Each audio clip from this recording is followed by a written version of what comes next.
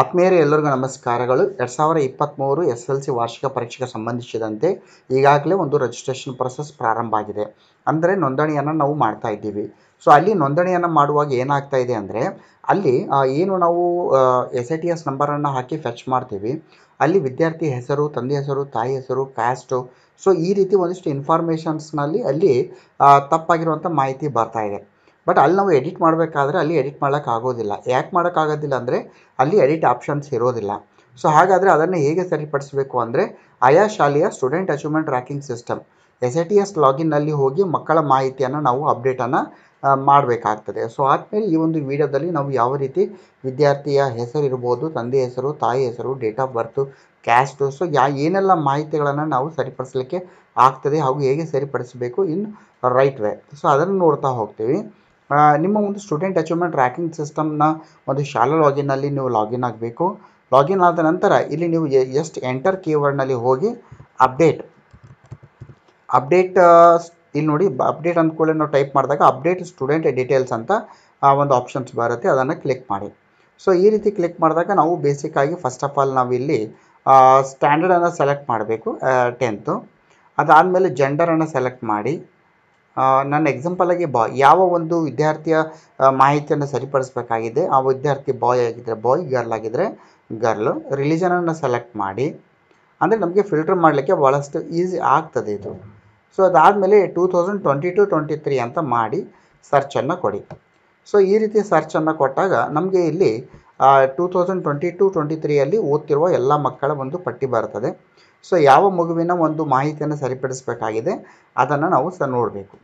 So ಇಲ್ಲಿ ನಾನು ಏನು ಮಾಡಿರ್ತೀನಿ ಇಲ್ಲಿ ಒಬ್ಬ ವಿದ್ಯಾರ್ಥಿಯ ಮಾಹಿತಿಯನ್ನು ನಾನು ಅಲ್ಲಿ ಪಕ್ಕದಲ್ಲಿರುವಂಥ ಎಸ್ ಎ ಟಿ ಎಸ್ ನಂಬರ್ನ ಕ್ಲಿಕ್ ಮಾಡಿದಾಗ ಅಪ್ಡೇಟ್ ಸ್ಟೂಡೆಂಟ್ ಡೀಟೇಲ್ಸ್ ಅಂತ ಇಲ್ಲಿ ಒಂದು ಮತ್ತೊಂದು ಫಾರ್ಮೆಟ್ ಓಪನ್ ಆಗುತ್ತೆ ಆ ವಿದ್ಯಾರ್ಥಿದು. ಸೊ ಆದಮೇಲೆ ಇಲ್ಲಿ ನಾವು ಏನೆಲ್ಲ ಸರಿ ಮಾಡಲಿಕ್ಕಿದೆ ಅಂದರೆ ನೋಡಿ, ತಾವಿಲ್ಲಿ ಗಮನಿಸ್ತಾ ಇದ್ದೀರಿ, ಇಲ್ಲಿ ಡೇಟ್ ಆಫ್ ಬರ್ತನ್ನು ಸರಿ ಮಾಡ್ಬೋದು. ಆಮೇಲೆ ಜೆಂಡರ್ನಲ್ಲಿ ವ್ಯತ್ಯಾಸ ಆಗಿದೆ, ಅದನ್ನು ಸರಿ ಮಾಡ್ಬೋದು. ರಿಲಿಜನ್ ಇದೆ, ನ್ಯಾಷನಾಲಿಟಿ ಇದೆ ಸೋಷಲ್ ಕ್ಯಾಟಗರಿ ಅಂದ್ರೆ ಕ್ಯಾಸ್ಟ್ ಇದೆ. ಸೊ, ಆರ್ ಡಿ ನಂಬರ್ ಏನಾದರೂ ತಪ್ಪಾಗಿತ್ತು ಅಂದರೆ ಅದನ್ನು ಕೂಡ ನಾವು ಸರಿ ಮಾಡ್ಬೋದು. ಇದಾದಮೇಲೆ ಸ್ಪೆಷಲ್ ಕ್ಯಾಟಗರಿ ಅಂತ ಬರುತ್ತೆ. ಸ್ಪೆಷಲ್ ಕ್ಯಾಟಗರಿಯಲ್ಲಿ ಮತ್ತೆ ಬೇರೆ ಬೇರೆ ಇದೆ. ಅದನ್ನು ನಾವು ಸರಿ ಮಾಡಿಸ್ಲಿಕ್ಕೆ ಆಗ್ತದೆ. Bank name, I F S C code, account number ಏನಾದರೂ ಇದ್ದರೆ ಅದನ್ನು ಇಷ್ಟು ನಾವು ಸರಿ ಮಾಡಬೇಕಾಗ್ತದೆ. ಸರಿ, ಮಾಡ್ಬೋದು ನಾವು. ಕಾಂಟ್ಯಾಕ್ಟ್ ಡೀಟೇಲ್ಸ್ನಲ್ಲಿ ಕೂಡ ನಾವು ಬದಲಾವಣೆ ಮಾಡ್ಬೋದು. ಇಲ್ಲಿ ಮೊಬೈಲ್ ನಂಬರನ್ನು ಕೂಡ ಎಂಟ್ರಿ ಮಾಡಲಿಕ್ಕೆ ಆಗ್ತದೆ. ಇದು ಓಕೆ ಸೊ ಈಗ ನಮಗೆ ಇನ್ನೊಂದು ಮಾ, ಇನ್ನೊಂದು ಬರುವಂಥದ್ದು ಏನಿದೆ ಅಂದರೆ, ಕೆಲವೊಂದಿಷ್ಟು ಮಾಹಿತಿಯನ್ನು ಇಲ್ಲಿ ನಾವು ಸರಿ ಮಾಡಲಿಕ್ಕೆ ಆಗೋದಿಲ್ಲ. ಸೊ ಹಾಗಾದರೆ ಆ ಮಾಹಿತಿ ಯಾವುದು? ಮತ್ತು ಹಾಗಾದರೆ ಅದನ್ನು ನಾವು ಯಾವ ರೀತಿ ಸರಿಪಡಿಸಬೇಕು? ಸೊ ಮತ್ತೊಂದು ಸಲ ನಾನು ಇಲ್ಲಿ ಎಂಟರ್ ಕೀವರ್ಡ್ ಬಾಕ್ಸ್ನಲ್ಲಿ ಹೋಗಿ ಅಪ್ಡೇಟ್ ಸ್ಟೂಡೆಂಟ್ ಡೀಟೇಲ್ಸ್ ಅಂತ ನಾನು ಟೈಪ್ ಮಾಡ್ತೀನಿ. ಅಲ್ಲಿ ಅಪ್ಡೇಟ್ ಸ್ಟೂಡೆಂಟ್ ಡೀಟೇಲ್ಸ್ ಅಂತ ಕ್ಲಿಕ್ ಮಾಡಿದಾಗ ನಮಗೆ ಯಾವ ಮಾಹಿತಿಯನ್ನು ಸರಿಪಡಿಸಲಿಕ್ಕೆ ಆಗೋದಿಲ್ವೋ, ಅಲ್ಲಿ ನಾವು ಇಲ್ಲಿ ನೋಡಿ ಇಲ್ಲಿ ಕೆಳಗಡೆ ಕಾಣ್ತಾ ಇದೆ ಕ್ಲಿಕ್ ಹಿಯರ್ ಅಂತ. ಸೊ ಕ್ಲಿಕ್ ಹಿಯರ್ ಎಂಬ ಆಪ್ಷನ್ಸ್ ಮೇಲೆ ಕ್ಲಿಕ್ ಮಾಡಬೇಕು ನಾವು. ಇಲ್ಲಿ ಕ್ಲಿಕ್ ಮಾಡಿ ನಾವು ಇಲ್ಲಿ ಯಾವ ವಿದ್ಯಾರ್ಥಿ ಮಾಹಿತಿಯನ್ನು ಸರಿಪಡಿಸಬೇಕಾಗಿದೆ ಆ ಒಂದು ಎಚ್ ಟಿ ಎಸ್ ನಂಬರನ್ನು ಹಾಕಬೇಕು. ಸೊ ಆದ್ಮೇಲೆ ಇಲ್ಲಿ ನಾನು ಏನು ಎಕ್ಸ್ಪ್ಲೇನ್ ಮಾಡ್ತಾ ಇದ್ದೀನಿ ಅಂದರೆ ನೋಡಿ ಇಲ್ಲಿ ವಿದ್ಯಾರ್ಥಿ ಹೆಸರನ್ನು ಅಲ್ಲಿ ಸರಿಪಡಿಸ್ಲಿಕ್ಕೆ ಆಗೋದಿಲ್ಲ.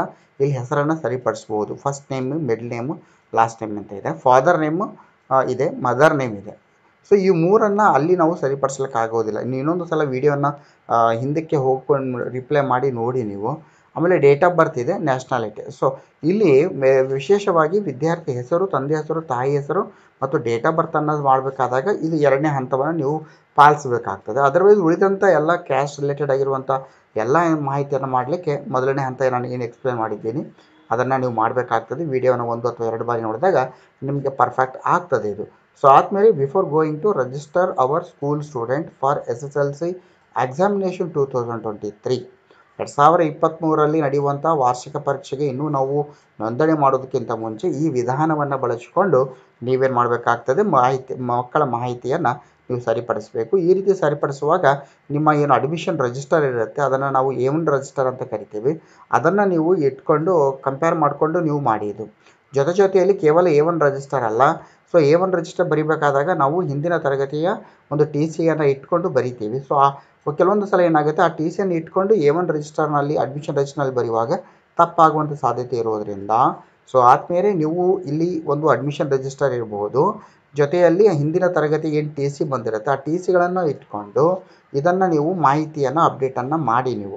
ಯಾಕೆಂದರೆ ಒಂದು ಸಲ ನೀವು ಎಸ್ ಎಸ್ ಎಲ್ ಸಿ ಅಂಕಪಟ್ಟಿ ಕೈಯಲ್ಲಿ ಬಂದರೆ ಮುಗೀತು.